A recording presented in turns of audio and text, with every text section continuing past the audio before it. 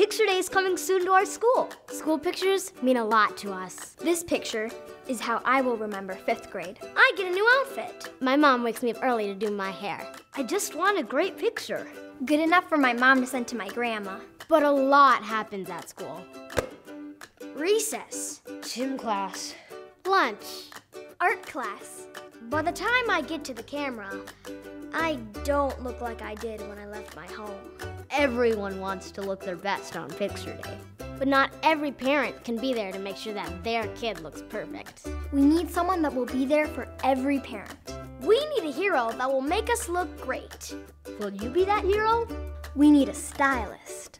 We need someone to make sure that my name is right on my picture. We need someone to make sure we don't spend too much time out of class. We need someone to make sure we're ready for the camera. Does that sound fun to you? Want to spend picture day with us? Will you be our hero? We promise you don't have to wear a cape. You can make the difference for me between a great picture and a near miss. Heroes don't just hang out and chat with friends. Heroes really help. Having a great picture helps a kid's self-esteem. Please sign up to be a Picture Day hero at our school. You'll be making so many kids and families happy.